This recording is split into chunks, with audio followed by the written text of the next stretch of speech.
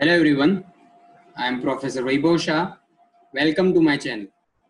In today's lecture, lecture 19, we'll be learning how to draw an inferior trochoid. If you like my content and teaching style, then like and subscribe to my channel to show your love and support. Now, let us begin. So let us see problem 1. Draw locus of a point 5 mm inside the periphery of a circle which rolls on a straight line path. Take circle diameter as 50 mm. So here we have to draw the locus of a point which is actually 5 mm inside the periphery of the circle. So here our circle is of a diameter 50 mm. That means our point would be inside the periphery of circle means our point is not on the boundary of your circle but point would be inside the circle.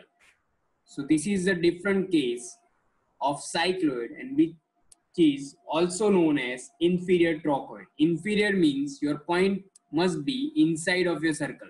So here the sign is given the point is inside the circle so that's how we can understand or we can get the idea that this is the example of inferior trochoid because it is stated that your point is 5 mm inside the periphery of a circle. So now let us start. So this is the procedure of this uh, method. So now let us start as usual method. So first let us draw one circle with the given diameter so here the circle diameter is given as 50 mm. So we have drawn one circle with the 50 mm as a diameter. Now, after drawing this circle, we have to draw the tangent line as usual by cycloid method. So we have to draw the tangent line. So we know that the length of this tangent line must be exactly the length of your rolling circle. So your rolling circle diameter is 50 mm that's why the circumferential length of this circle for one complete revolution would be pi d. So here diameter is 50. So that's how your distance, circumferential distance would be pi into 50. And whichever length you get, you have to draw the line of that length tangentially to the circle. So this is nothing but your pi d length of your line. Now, after drawing this line, you have to denote the rotation so as you can see, circle has to rotate on the rightward direction. So that's why we have stated this rotation arrow on the clockwise direction. Now, next, we have to draw one more circle. Now here it is stated that your point which we have to draw the locus of that point which is 5 mm inside the periphery of the circle. So let us suppose how to denote this radius of this circle. So let us understand it is stated that the point of this circle is 5 mm inside this periphery of this circle. So this is the circle of 50 mm diameter. So if your point is 5 mm inside, so 5 mm inside from this side and 5 mm inside from this side. So total radius of this circle would be, total diameter of this circle would be, so this is the complete diameter of your circle, rolling circle. So how to find the diameter of this inside circle? So it is very obvious that we have to minus this 5 mm and we have to minus this 5 mm also. So total of 10 mm if we minus from the diameter which is 50 mm which is of a rolling circle we can have this inside circle.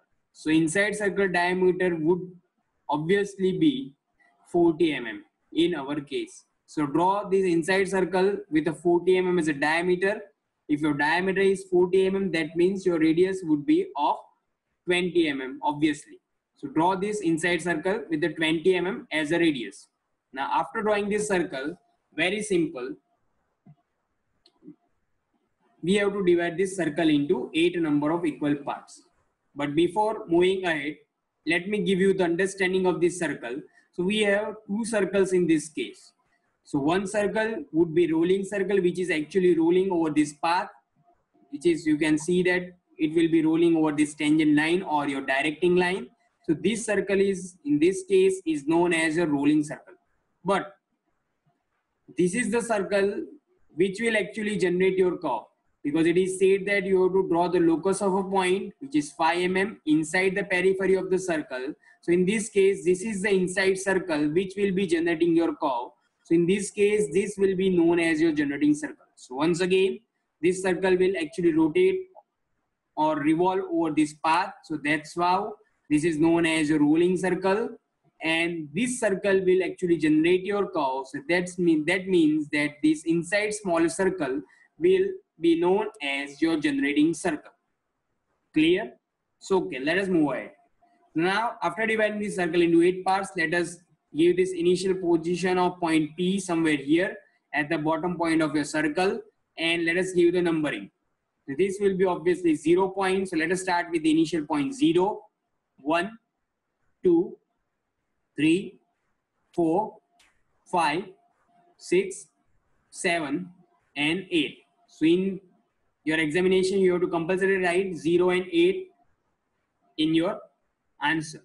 Now after that, we'll simply draw one straight line from the center and we know that we have to divide this center line into eight number of equal parts. So let us divide this center line into eight number of equal parts. So one, two, three, four, five, six, seven, eight. So these are eight number of equal parts. Now we will give the dimensioning as C1, C2, C3, C4, C5, C6, C7, and C8. Now, there would be one question running in your mind that, sir, we have divided this small circle into eight parts. So, for this straight line, how to divide this straight line into eight parts? Either we have to take for this bigger circle and divide it into eight parts or take the distance of the circumferential distance of the smaller circle and divide it into eight parts. The answer is very easy. The distance of this line, which is of the rolling circle line is of pi d. So it is compulsory that you will draw the line from your center point here from your smaller circle exactly equal to your pi d distance. And if you have drawn this line of pi d distance, that means that you have to compulsory divide this pi d distance into eight parts. Either you can directly divide into eight parts by your triangle method or your shadow line method to divide this line into eight equal parts or you can divide it by calculating on your calculator each division and you can divide it by your rounder itself. You can use any method but in this case always remember you will be dividing the complete length of pi d which is your circumferential length of your rolling circle and you have to compulsory divide that portion into eight parts in this case. Okay, now let us move ahead. After that, we will be simply drawing lines parallel to your center line like this. This is your center line. You have to draw parallel lines from your center line. So we have drawn parallel line from point P like this, point 1 and 7 like this, point 2 and 6, it is already drawn. From 3 and 5, let us draw one line parallel to center line. From point number 4, let us draw lines parallel to center line. So we have drawn lines parallel to center lines from each of the points of your circle. Now next, on your rounder, you have to select the dimension of this generating circle in this case. Don't make a mistake. In this case, we'll just select the distance of point C till point P. So you have to adjust on your rounder distance between C and P, which is the radius of your smaller circle or your blue circle on your rounder. After selecting this radius, select your center C1 and try to cut this one line here. So select the center C1, try to cut this one line here. Select the center C2, try to cut this two lines somewhere here. Select the center C3, try to cut this three line here. So we will cut this three line here. Select the center C4, try to cut this line of 4 somewhere here. Select the center C5, try to cut this line of 5. Line of 5 means line passing from your point 5. You have to select your center C5 and try to cut this line of 5. Now select the center C6 and you have to cut the line passing from your point 6 somewhere here. You have to select the center C1 and you have to cut the line passing from your 7 somewhere here. you have to select your center C8 and you have to cut the line passing from your point number 8. So point number 8 in your case would be this point. So this will be the line of 8 and you have to cut this line somewhere here. So after getting all of these points, very simple, mark this point as P1, this point as P2, P3, P4, P5, P6, P7 and P8. After identifying each of the points, you have to simply connect all these points by a dark line. So let us first identify these points like this. And after that, you have to simply join these points. So before that, let us give numbering P1, P2, P3, P4, P5, P6, P7, and P8. Now after that, you have to simply join these points P1 till P4 and then after this. So this will be your curve. The difference between this curve and cycloid is that in cycloid your curve actually ends at the this circle, rolling circle. So this will be also the part of your curve and this will also be the part of curve in the case of cycloid. But this case is different. This is the case of your inferior trochoid. That means your curve will end at the last point of your smaller circle. So this is the last point of your smaller circle. So your curve will end just above your rolling circle somewhere here and here somewhere here. So you will be having gap in this case of your inferior trochoid. So understood?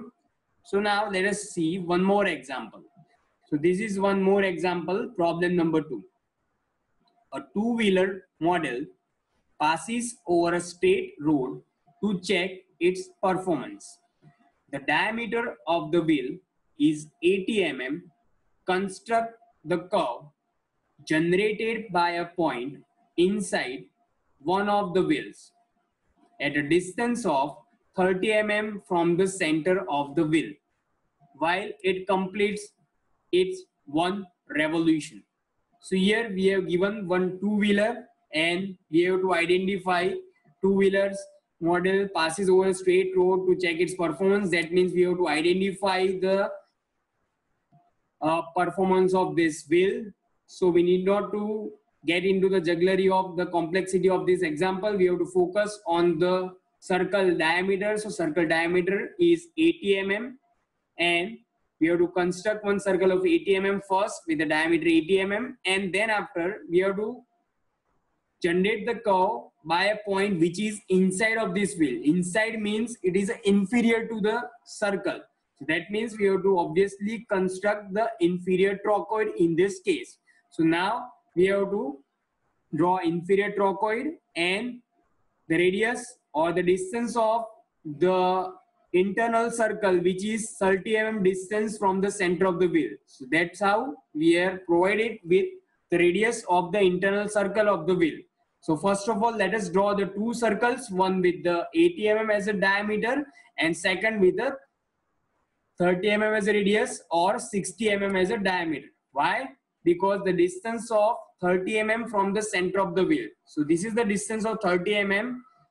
So this is nothing but your 30 mm distance which is 30 mm radius or you can use 30 mm distance on the both the sides and you can call it as 60 mm as a diameter. So we have drawn two circles First with the 60 mm as a diameter and second with 80 mm as a diameter.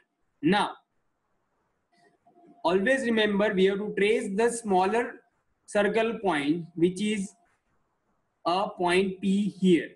So now this point is your rolling circle because it will roll over this straight line and this is your generating circle, real generating circle which will actually generate your curve. So inside circle, smallest circle would be your generating circle and outside circle would be your rolling circle. Now we have to draw one tangent line through the bottom point of your rolling circle and now let us start the procedure. Now we will divide the inside smaller circle or generating circle into 12 parts in this case. So let us divide this circle into 12 parts by 30 degrees, 60 degrees set square. After dividing this circle, let us start numbering from this point as 0, 0, 1, 2, 3, 4, 5, 6, 7, 8, 9, 10, 11 and 12. Now after giving the numbering, we'll draw or divide this tangent line.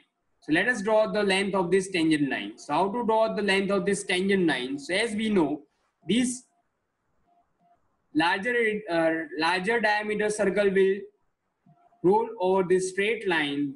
That means that the circumferential distance traveled by this circle over the straight line would be equal to pi into d. But here in our case, our larger diameter circle will be rolling over this straight line. That means pi into diameter d. Here the diameter d would be of a larger circle diameter which is 80 mm. So you have to put pi into 80 which will give you 188.4 mm as your answer and you have to draw one straight line which is also your directing line of 188.4 mm. Now after drawing this directing line, you have to divide this directing line into 12 number of equal parts. Why? Because we have divided this circle into 12 number of equal parts. So that's how we have to divide this directing line also into 12 number of equal parts. So let us divide this directing line into 12 number of equal parts and let us give numbering starting from point 0 point here 0, 1 dash, 2 dash, 3 dash, 4 dash, 5 dash, 6 dash, 7 dash, 8 dash, 9 dash, 10 dash, 11 dash, and 12 dash. After drawing these dash points, we have to draw just a vertical line from 1 dash to get C1, 2 dash to get C2, vertical line from 3 dash to get C3, vertical line from 4 dash to get C4, vertical line from 5 dash to get C5, vertical line from 6 dash to get C6, 7 dash to get C7, 8 dash to get C8, C9, C10, C11 and C12 can be found out in likewise manner. Now, after getting these points C1, C2, C3, C4 up until C12 on this center line, we have to simply draw lines parallel to this center line from your point 0. So this is your line from your 0 and 12 point one more line from your point 11 and 1 parallel to your center line. Line from 9 and 3 is already there because it is itself a center line. Now you have to draw line parallel to the center line from 8 and 4 like this. This is line parallel to your center line from your 8 and 4. Now draw one more line from your 7 and 5 parallel to your center line and one more line from your point 6 which will be parallel to your center line So, we have drawn lines parallel to the center lines from each of the points of your smaller circle. Now in next step, take out your rounder, select on your rounder the radius of this smaller circle, which is here in this case 30 mm or in other words, CP. So adjust on your rounder distance of your CP or 30 mm. After that, put your rounder at C1 point and try to cut this one line somewhere here to get this P1 point. Put your rounder at C2 point and try to cut this line passing from your 2 somewhere here to get this P2 point. Put your rounder at C3 point and try to cut this line of 3 somewhere here to get this point as P3 point. Now put your rounder at C4 point and try to cut this line of 4 somewhere here to get your P4 point put your rounder at C5 point and try to cut this line passing from your pi, uh, pi number point to get this point P5 here. Put your rounder at C6 point and try to cut this line of 6 here to get this B6 point. Put your rounder at C7 point and try to cut this line passing from your 7 point to here, get this point P7. Put your rounder at C8 point to cut this line passing from this 8 point here to get this P8 point. Put your rounder at C9 point and cut your line of 9 which is also a center line to get this point P9. Put your rounder at C10 point and try to cut this uh, line of 10 here to get this P10 point. Put your rounder at C11 point and try to cut this line passing from your 11 point somewhere here to get this point P11 put your rounder at C12, the final point, and try to cut the line passing from your point 12 here to get your point 12 here. After getting all these points, mark this point by dark point P, P1, P2, P3, P4, P5, P6, P7, P8, P9, P10, P11, and P12. After marking this point, just join all these points by a smooth dark curve and you will be having this curve which is nothing but your required inferior trochoid. Here your curve is generated by a point inferior to your rolling circle. That's why the curve is known as your inferior trochoid. Very easy. So now that is all from my side. If you enjoyed the lecture, then don't forget to like, share and subscribe to my channel to show your love and support. Keep learning, stay connected. Bye-bye.